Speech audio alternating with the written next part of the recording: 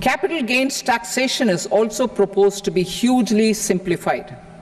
Short term gains on certain financial assets shall henceforth attract a tax rate of 20%, while that on all other financial assets and all non financial assets shall continue to attract the applicable tax rate. Long term gains on all financial and non financial assets, on the other hand, will attract a tax rate of 12.5%. For the benefit of the lower and the middle income classes, I propose, the, I propose to increase the limit of exemption of capital gains on certain financial assets to 1.25 lakh rupees per year.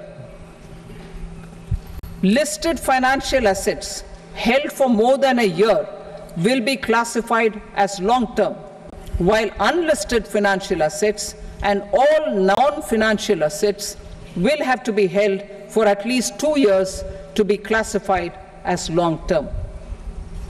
Unlisted bonds and debentures, debt mutual funds, and market linked debentures, irrespective of holding period, however, will attract tax on capital gains at applicable rates. Taxpayer services. All the major taxpayer services under GST and most services under customs and income tax have been digitalized. All remaining services of customs and income tax, including rectification and order giving effect to appellate orders, shall be digitalized and made paperless over the next two years. Litigation and appeals. While our concerted efforts to reduce pendency of appeals at various appellate fora are beginning to show good results, it will continue